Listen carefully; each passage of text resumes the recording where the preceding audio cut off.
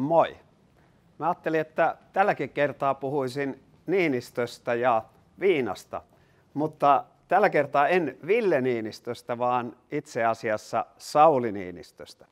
Nimittäin toi maanantai-päivä oli aivan riemastuttava.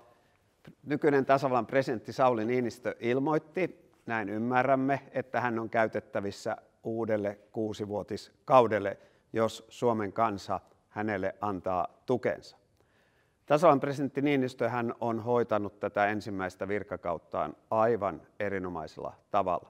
Jos ajatellaan ulkopolitiikkaa, meidän ympärillämme myllertää, Venäjän käytös herättää paljon huolta Euroopassa, varsinkin Baltian maissa ja muualla, mutta Sauli Niinistön toiminta on korostanut vakautta Suomen suhteissa ja hyviä suhteita kaikkiin ilmansuuntiin.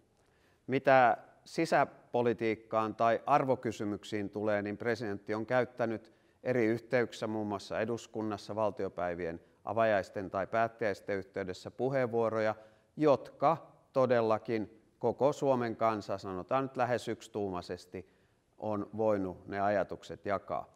Ja se näkyy myös siinä, että erittäin vahva luottamus on nykyiseen tasavallan presidenttiin kansalaisten keskuudessa.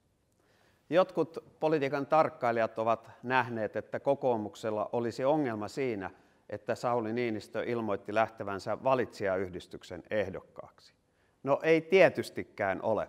Mihin me olisimme pettyneitä? Siihenkö, että tasavallan presidentti Niinistö on käytettävissä, hieno juttu, vai siihenkö, että näin valitsijayhdistyksen kautta saadaan vaalityöhön mukaan vielä laajemmat kansalaispiirit kuin mikä olisi ollut mahdollista, jos hän olisi ollut vain kokoomuksen ehdokkaana. Siihenkö me olisimme pettyneitä? No emme tietystikään.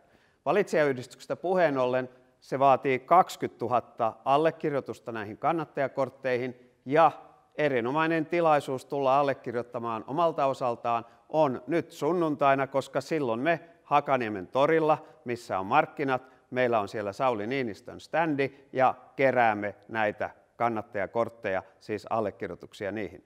Nähdään silloin. Ihan toinen asia, mistä haluaisin puhua. Viimeksi Ben TVssä kerroin siitä, mikä on tämä ryhmäkurin idea täällä eduskunnassa. Eli hallituspuolueet sopivat asioista yhdessä ja näin muodostaen enemmistön eduskunnassa voivat viedä näitä asioita yhdessä eteenpäin. Moni ei ihan tätä systeemiä tunne, mutta se on nyt ilmeisesti aika hyvin avautunut tässä alkoholilaki-asiassa. Nimittäin jo vuosi sitten kaikki kolme hallituspuoluetta sopivat alkoholilain uudistamisesta ja siihen liittyvistä keskeisistä kysymyksistä. Löytyi sovinto, löytyi kompromissi.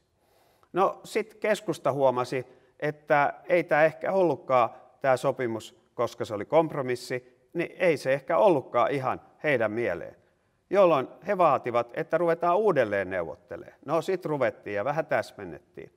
Sen jälkeen, kun ei ne niissäkään neuvotteluissa saanut sellaista tulosta, mitä halusivat, niin Antti Kaikkonen meni ja ilmoitti, että kun ei tehdä sellaista lakia, mitä Kepu haluaa, niin tämä oli tässä.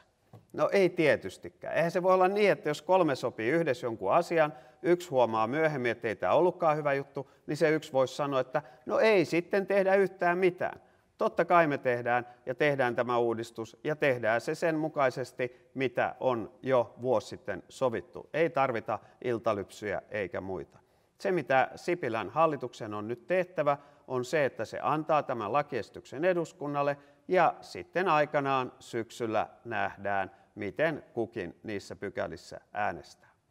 Tämä oikeastaan tällä kertaa. Parhaimmat onnitteluni kaikille kevään ylioppilaille – ja heidät ja kaikki muut näemme toivottavasti sunnuntaina Hakaniemen torilla. Silloin kerätään nimiä Niinistön kannattajakortteihin. Moi! Thank you.